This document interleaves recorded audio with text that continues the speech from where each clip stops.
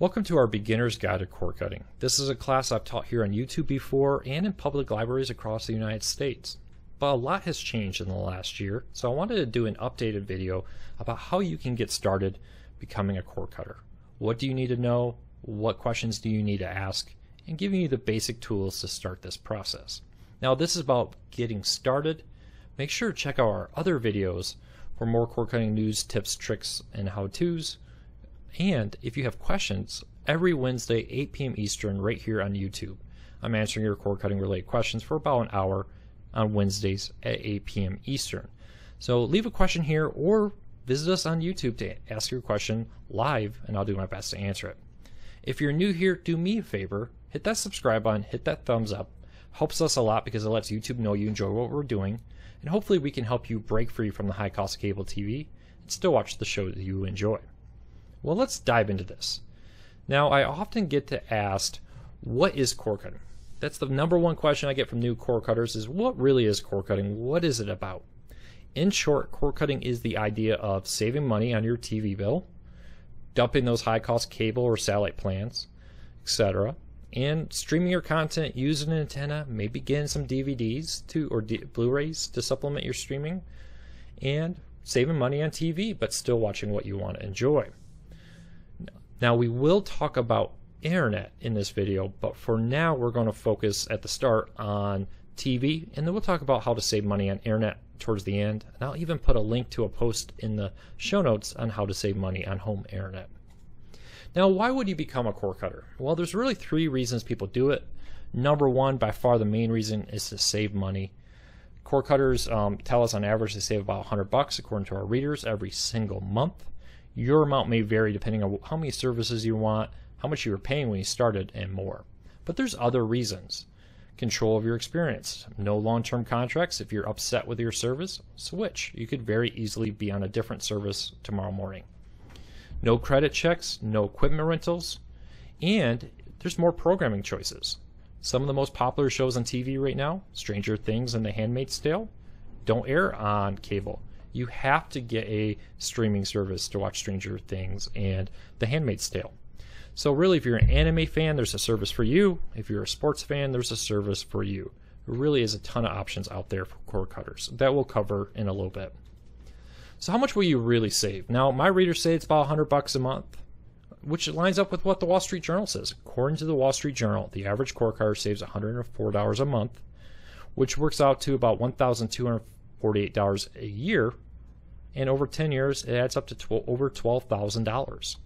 That's real money. When my wife and I canceled cable, we had just had our daughter, we had car payments, we had student loans, we had rent. Canceling that $110 DirecTV bill was a huge part of our plan to pay off our credit cards, pay off our cars, get a hold of our financial situation. And as you can see, $12,000 could go a long ways to, towards many people's student loans, car payments, and more. So, how do you get started? So, we know we can save money, we know the content's out there, but how do you get started? Well, the number one thing I want to tell everybody here is to go slowly. Number one mistake people do is they watch this video, they call Comcast or Spectrum or AT&T and they say, "Hey, cancel my TV bill." And then they go try to figure it out. When you cancel first and then you try to figure out how this all will work, I find many people overpay. They get the wrong service, they buy the wrong antenna, because they didn't do their research. So go slowly, do your research, and then cut the cord. When my wife and I did it, we set everything up. Then we unplugged the DirecTV box. We're like, we're going to try this for a month. We're going to try to see if this works. It took us about two weeks to really figure out where all of our shows were, where all of our programming was. And after two weeks, we never even looked at that DirecTV box. And after three weeks, we were we were set. We were like, okay, we got this. We're watching everything we wanted to watch for half the price. Goodbye, DirecTV. So definitely keep that in mind. Do your research, test this out, take advantage of the free trials, and go from there. So we've decided to do it. We're taking our time. Let's get started. Number one thing I would recommend to everybody, even if you think you're going to get a streaming service like PlayStation Vue or DirecTV Now or YouTube TV that offers locals, um, I would highly recommend that you get an antenna. An antenna will give you for instance, in Dallas, where I did this um, presentation last time at a public library, 50 free over-the-air TV stations. At my home, I get 47 free over there TV stations in great HD. The reason this is important is not all local stations stream for free on things like YouTube TV, PlayStation Vue when you pay with your subscription. Plus, they're in great HD. Once you buy the antenna, you own it. If there's ever an internet outage or more or something affecting the streaming like a blackout, maybe there's an argument between your local stations and your TV owner, an antenna will give you your locals consistently. So I highly recommend that you check out getting an antenna, spend some time, research what you want, go to a website like antennaweb.org. That's antennaweb.org. Enter your zip code, see what kind of channels you should get. And then from there, you say, hey, I live 50 miles away from the nearest um, TV station. Maybe I need to go get a uh, 60 mile antenna, or maybe I'm only about five miles, and maybe an indoor antenna would be right for me. Most people make a mistake with an antenna when they don't research it. If you live far from a transmitter, buying an indoor antenna may not be right for you. You may need a roof mounted outdoor antenna.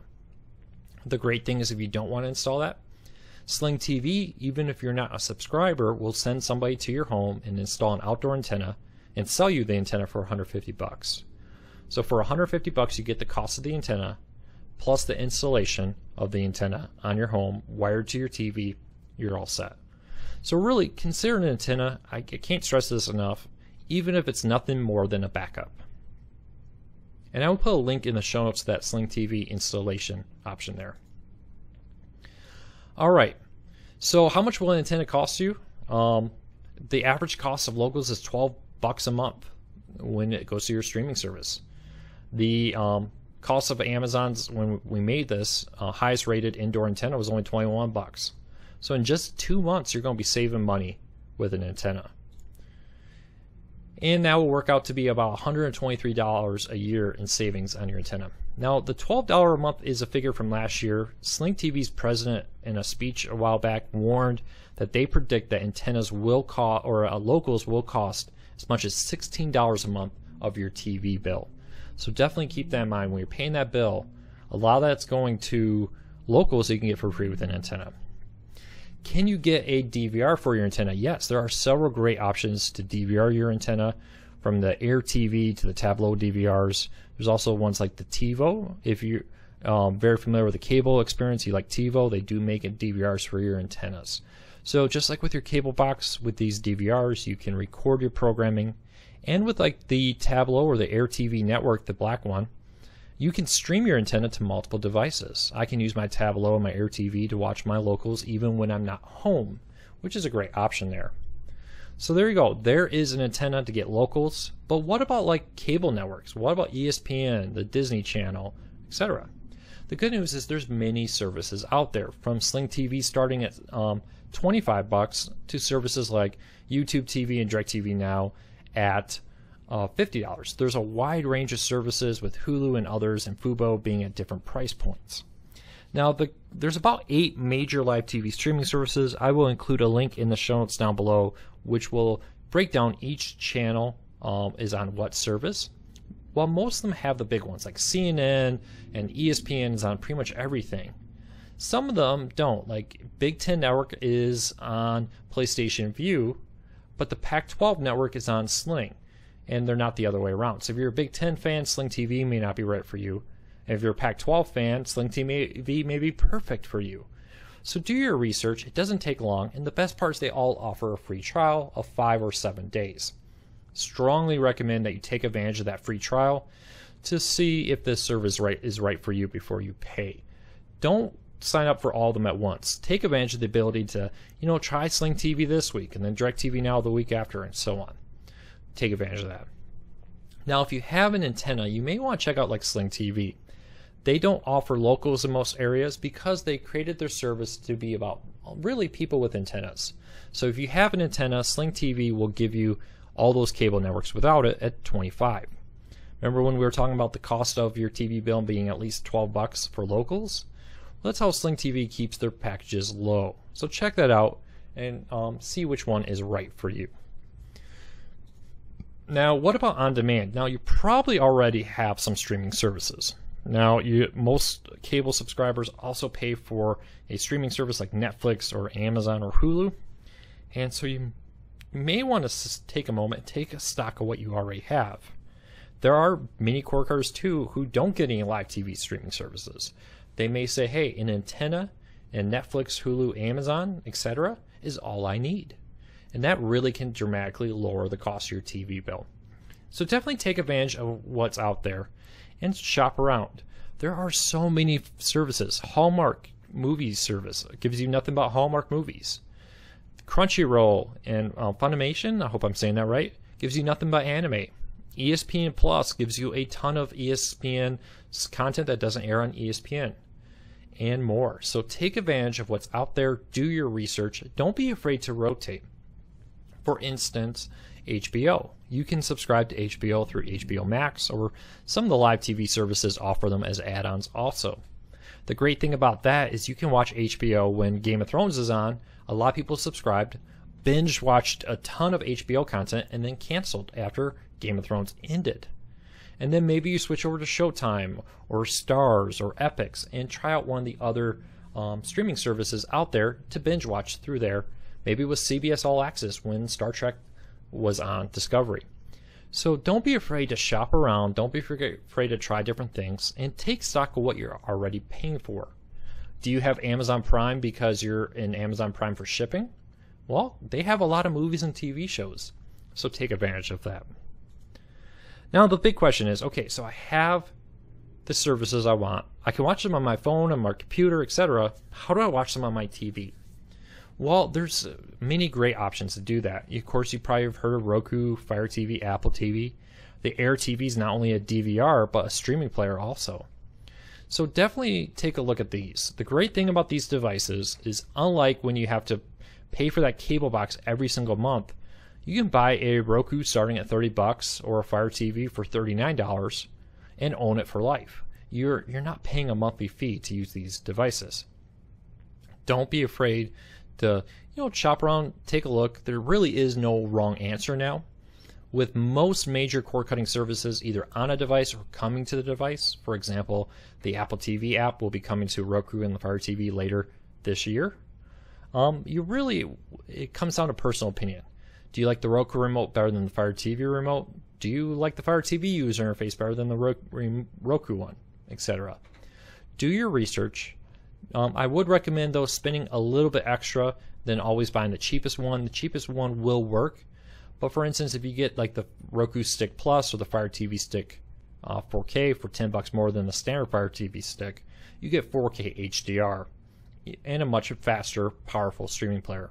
So even if your TV isn't currently 4K HDR, this means if you ever upgrade your TV, you won't need to upgrade your streaming player. So keep that in mind. Well, really quick before we end this, I want to talk about internet. One of the biggest fears people have is paying more for internet. I find there's a few ways to do it. The, the on average bundling your internet saves you 10 bucks, but you're agreeing to pay 100 some dollars for TV in order to save 10 bucks on your internet with your cable. On average, according to Fortune magazine, the average cable TV subscriber pays $107, a little over that every single month when you add in fees, taxes, etc. So shop around, look for your internet often the worst internet deal is when you're trying to downgrade, right? If you're saying, hey, I want to drop my TV and go internet only, they're going to give you the worst possible package. I found a little bit of a workaround that works most of the time. Even if you want to stay with your current provider for internet, shop around. If you have cable, know what DSL is offering. If you have DSL, know what cable is offering. Don't discount DSL. Now, I get it right off the bat. Somebody's going to say, Luke, I live in an area where DSL is awful. I do understand that that is true in some areas. But the vast majority of Americans, DSL is a great option. I, I get gigabit DSL where I live, just as fast as my cable connection. So if you know what price they're offering for new customers, when you call your existing customer, um, your internet service customer service line, and say, "Hey, I want downgrade," and they give you a outrageous price, you say, "Well, your competitor's offering this for that speed." I find nine times out of ten they'll match it. And if they don't, don't be afraid to switch. Shop around. There are new internet options rolling out. Fiber is rolling out. 5G is rolling out. Amazon and SpaceX are putting satellites in space right now, with SpaceX, SpaceX, excuse me, planning to offer high-speed internet from low Earth orbit late this year or early next year. Now, this will be a lot faster than older high speed internet from space because the satellites will be much lower to, to the ground and there'll be a whole network of them instead of one. So keep that in mind. So shop around for internet, know the competition, keep your ears open for things like new internet options from space, wireless services like 5G, and fiber options. Because you may not have it now, but soon you probably will. So keep that in mind. Lastly, if you have more questions, again, don't be afraid to come here every Wednesday, 8 p.m. Eastern. We're live on YouTube. But we also have a Facebook group called Cord Cutting Tech Support. It has almost 60,000 members when I'm recording this. You can find a link to it in the show notes down below, or visit us over at cordcuttersnews.com and check out all the how to guides, stories, beginner's guides there to help you get started with the world of cord cutting. Well, I hope this video helps. I hope this gives you a starting point to begin your journey to become a cord cutter. Again, if this helped you, do me a favor, hit that subscribe button, hit that thumbs up. It helps us a lot, and hopefully we can help you break free from the high cost of cable TV. So thanks for watching. Do your research, take your time, and don't rush it. Take care, everybody.